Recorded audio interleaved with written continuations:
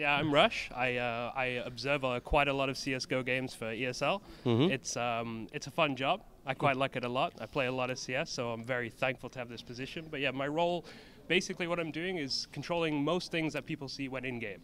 Like Okay. Outside of the game, we have all these cameramen. I'm basically a cameraman in the server. But what does observing look like at a big tournament? Is there a team? Is it just you? What's Oh, the yeah. setup like? So at, a, at one of these scale tournaments, we have like a full team. Okay. Like we have around six guys, I would say, pretty much. Per match? Mm, pretty much per match, yeah. Okay. I'd say so. Like we have a main observer typically, which is the person cutting like just from player to player, like who who we think's gonna get like all the good action and stuff like that. Then we have like a cinematic guy who like gets all the cool overviews and stuff like that. And then we have a, a separate replay observer who catches all the frags that I miss, which Okay. that doesn't happen. I catch every single frag on the server, so that never happens anyway. Okay. Yeah. that that's three of you. That's the three main ones, yeah. But Okay. then there are a few more guys behind the scenes. We have the guys like coding the HUD and stuff like that. Okay. So these guys aren't really doing as much while the game is live, but they've done a lot of prep work for the games. Okay. General. Okay. And and these, I mean, the guy who gets the fancy camera angles, does, does he sit and program these before the game? Yes, that's the best thing about CS:GO. We can pre-program everything. Okay. Like all, we have so many cameras for every single map, different Okay. situations.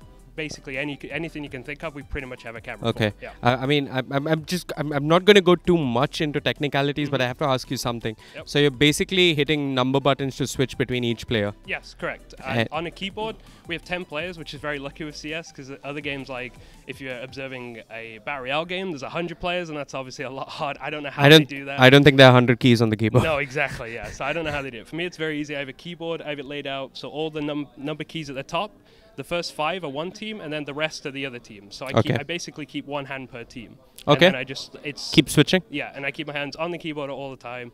Okay. Like it's very rare you'll see an observer take the hands off the keyboard and then individually press each key. We'll basically have our hands across the entire keyboard so we can hit anything we want at any time. Okay. Yeah. Um, I, I I'm, I'm going to get into a little bit more about observing, and I think I'm sure uh, I've, I've asked a few observers this question. Yep. Uh, I'd like to know what's your answer. What's your least favorite map to Uh, observe? well, every, every observer is going to say the exact same map. Nuke? Nuke, of Okay. course. It's just so difficult. Just the, the layers. There's too many layers. How, how do you approach nuke? Is there is there a trick?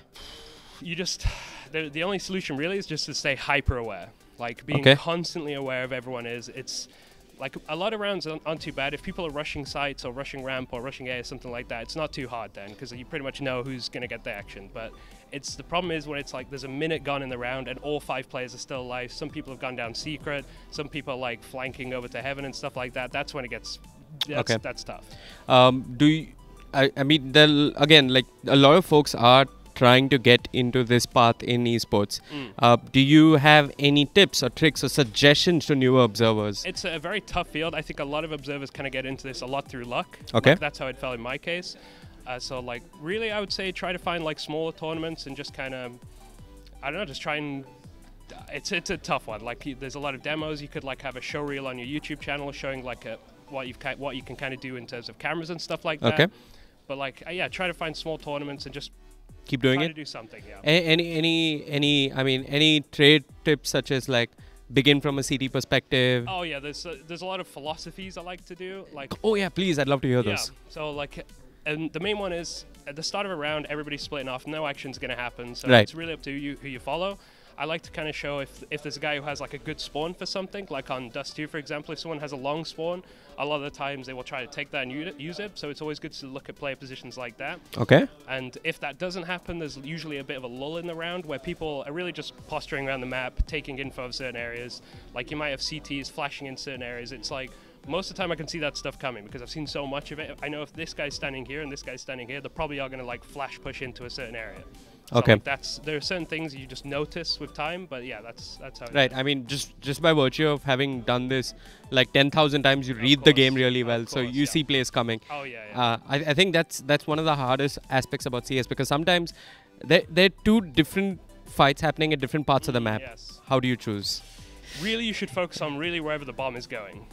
Okay. a lot of the times when there are multiple fights going on in pro games at least if i observe a matchmaking game it's a it's a it's chaos I Okay. mean, everyone's fighting everyone at the same time but in a lot of cases in cs people will be like having one lurker role, and I'll try to show him for as long as I can until action comes in with the bomb, so people are aware. Like if that guy gets a kill, they know where they got the kill. They may not see the kill coming in, but the luxury of this event, we have like an extra pip that comes in, and we can show any player we want. So Mhm. like if a bomb is about to push into a site and there's a lurker, I could tell my guy to the left, hey, can you put this guy in that camera, and then we can you can still watch the lurker if you want, because it's a good chance he might not even do anything anyway. So I don't really want to stick on him for that, and then I can catch all the main action. So so you follow the bomb, and the secondary action is picture in picture. Yes. I mean, I mean, already a couple of great tips.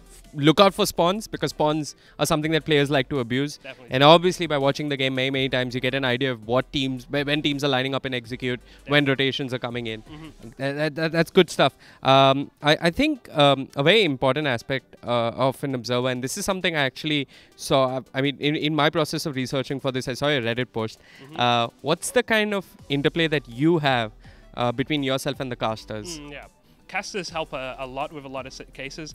The best thing is where a caster talks about something which I'm even missing. Like they, they may call out a flanker and I'm like so focused on one part of the map, and then they'll like mention it, and then that's always good for me because then I can hop on it. But usually I try to follow what the casters are talking about. Okay. Especially if like it's a lull part of the round, they will often be talking about people's positions and stuff.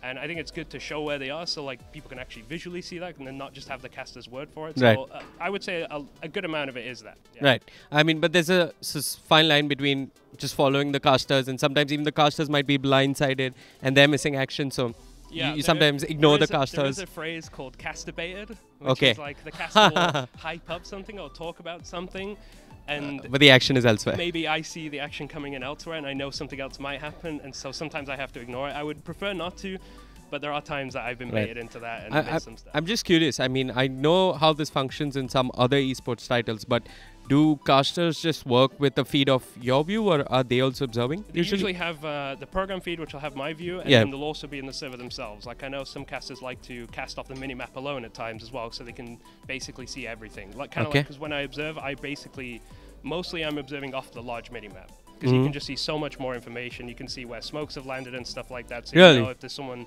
yeah, because like if you observe off the tiny minimap, sometimes. Two guys might be like looking right at each other, but there might be a smoke in the way, and they'll just not end up seeing each other for like 15 seconds. or Okay. so. Yeah. Okay, I, I I didn't know that one. Um, who's your favorite duo of Oh, casters my to work with? That's a tough one. I love hearing Henry and G and Sadokist. Okay. Like those guys make me laugh a lot. But I mean, this event and past events, Hugo and Harry is like, to me, my favorite casters are whichever ones make me laugh while observing. And Okay. Harry and Hugo and Henry and Sadokist, they're so good at that stuff. Okay. So, so good. Okay. Um, uh, I, think we pretty much covered most of it. Just a couple of questions to close things out. Uh, where, where do you see observing going down in the future? Do you think there's scope for Valve to improve what observing could be? Do, do, you, do you think there's something that you want to add and Yeah. improvise with in observing? There definitely are things that could be made better, especially on the large minimap. There's still certain information which isn't shown. Like, uh, I think it would be useful to show where people are looking.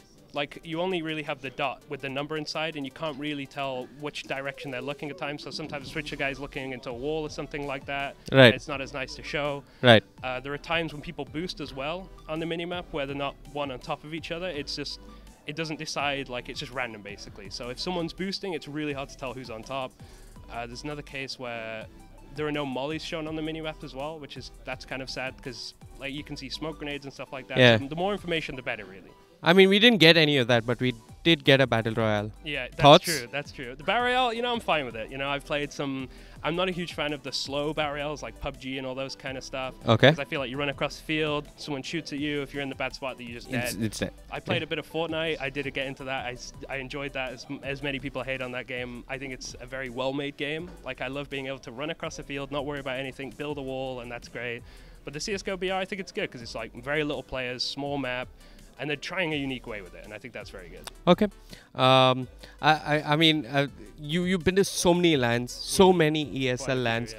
Could you just share some of the funny anecdotes that we as viewers or media don't get to see behind the scene? I, I, I know CSGO is wild. I've, I've even been told that sometimes on the desk people are just wearing suits, but down below they're just wearing Oh, shorts. yes, Yeah, that, that's definitely happened in the past. Yeah? I mean, luckily, I'm in the production room, so we can get away with whatever we want to wear. Ah, that's part, okay, which yeah. is good. You know, it's very rare we're on camera like this. yeah. Mm, tomfoolery. There's there's always a bit going on in the control room. Everyone's usually having trying to have a good time. No one wants to be sad in there, so yeah, Okay. always joking around and stuff like that. So Okay. it's a it's a lighthearted environment back there, but Okay. nothing nothing crazy goes on. But there are many times where we've had like issues which we've managed to hide quite well. Oh yeah. Say like uh, if our observer PC crashes, then we always have like a backup and stuff, and we're Mhm. very quick to change to that.